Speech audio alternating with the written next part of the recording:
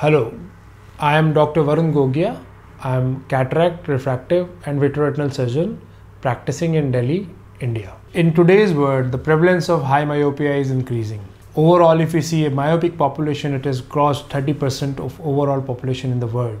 And by experts, by 2050, approximately 50% of population will become myopic. And as myopia will grow, high myopics will grow.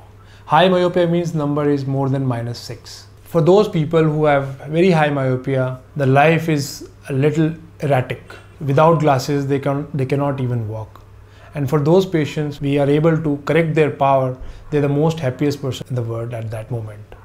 So Eyecryl phakic IOL is actually one of those implantable lenses which can correct power up to minus 25 levels.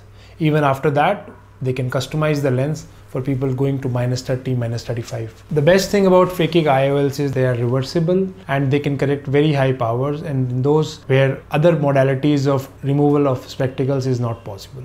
Eyecryl phakic IOL has been made by using acrylic material which has been used for last 40 50 years for making IOLs. So the biocompatibility is very high in human eye. Apart from that, because they are providing us a very wide range of powers, every patient can be corrected. Even if the powers are not available, they can customize it for us. Most of our patients are 6 by 6 N6 and next day of follow-up, we generally do one eye at one day and second eye other day just to uh, provide any other intraocular complication.